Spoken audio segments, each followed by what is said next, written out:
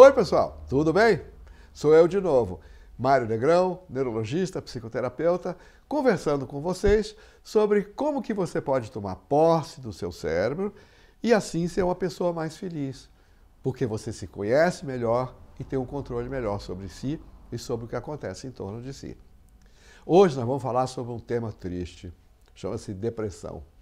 Qual que é a diferença entre depressão e tristeza? Vocês sabem? Às vezes, até um profissional experiente tem dificuldade.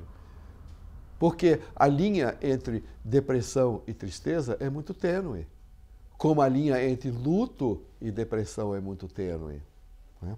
Eu diria o seguinte, para começar: a depressão acontece quando a razão que desencadeou essa tristeza toda ficou menos importante do que os seus sentimentos e suas reações. Ou seja, é, como a gente já falou sobre a ansiedade, a gente pode dizer que a depressão é aquilo que acontece quando o problema foi embora e você ainda está mal. Né? Na ansiedade, o problema foi embora e você tá, ainda está ansioso.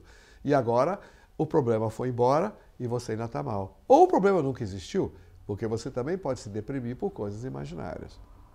Como é que você sabe que você está deprimido? Olha, a depressão tem muitos sintomas, nós vamos falar sobre eles agora. Para você dizer que você está deprimido, você tem que ter pelo menos cinco desses. Senão, você não está deprimido.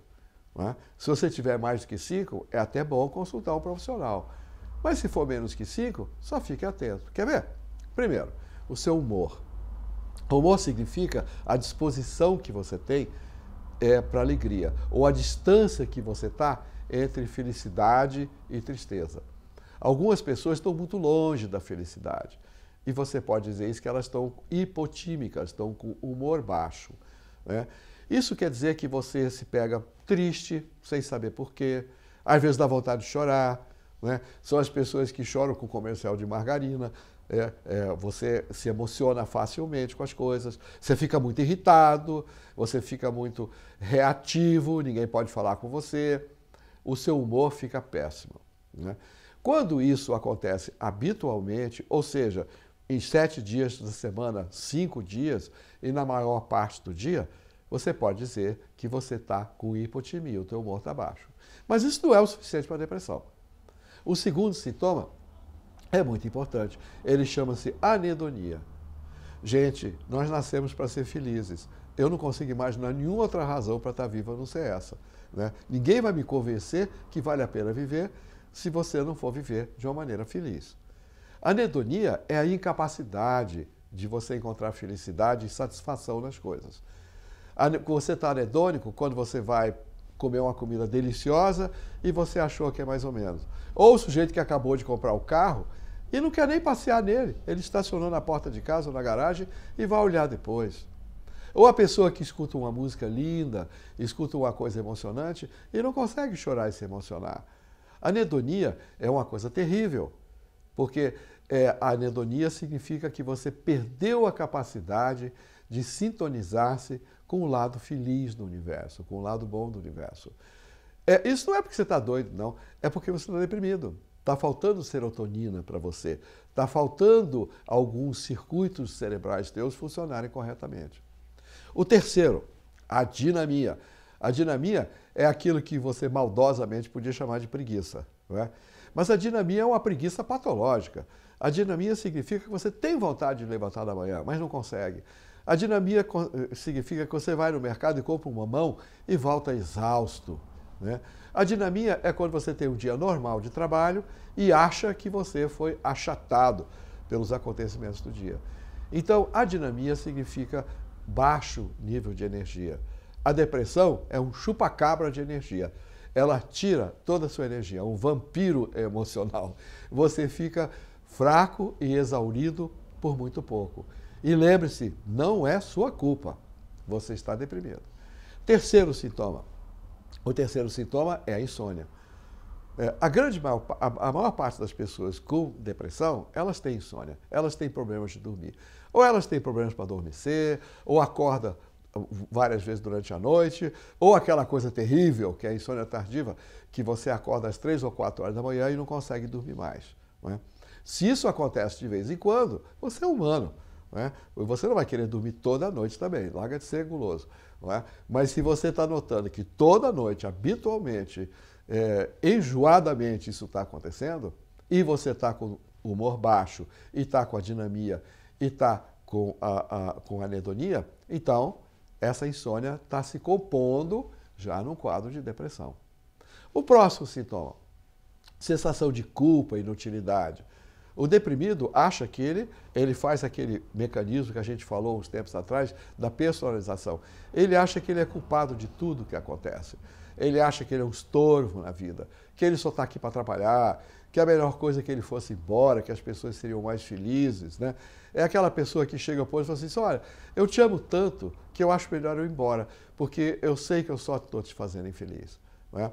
É claro que a outra pessoa vai dizer o contrário. Isso é uma visão distorcida que você tem de si mesmo. É um pensamento negativo, que é o próximo sintoma. Pensamentos negativos significa que você negativiza tudo o que acontece. Pode ser pela relativização. Né? Como é que você está? Mais ou menos. Essa comida foi boa? Acho que sim. É. Você quer carne ou peixe? Escolhe você.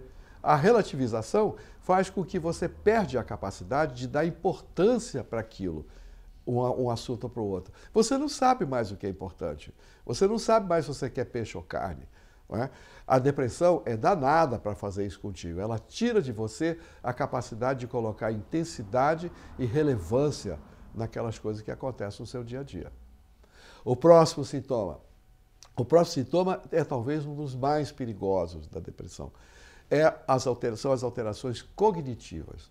O deprimido tem três coisas terríveis. A memória fica uma peneira. Tudo passa por você, você não consegue gravar nada. Né? Às vezes você está no meio de uma conversa e esquece até o que você estava falando. Ou você está dirigindo o carro para algum lugar e no meio do caminho você não sabe mais para onde é que você está indo, você esqueceu o que você está fazendo. Eu já fui deprimido na minha vida. E eu sei o que, que é. Você entre a sua cama e a geladeira, na metade do caminho, não tem a menor ideia de por que, que você está indo para a cozinha. né? Você esqueceu que estava com sede. Gente, é verdade, isso acontece mesmo com as pessoas. Quando a depressão é muito grave, você perde é, essa capacidade de memória. A segunda alteração cognitiva importante é uma alteração grande na atenção a pessoa deprimida é desatenta, o foco de atenção é muito frágil, que a gente chama de extratibilidade. Alguém botou a televisão um pouquinho mais alta, ou uma moto apareceu roncando debaixo, na rua, debaixo da tua janela, aquilo já desconcentrou você completamente. Né? E a terceira alteração cognitiva é quando você perde a capacidade de executar seus atos, fazer planos e de conseguir alcançar seus objetivos de uma maneira racional. Né? Ou seja, você perde uma coisa chamada função executiva. Né? A última é terrível. A última é a ideação suicida, que felizmente não dá em todos os deprimidos. Né? Mas cuidado, não confunda anedonia com ideação suicida.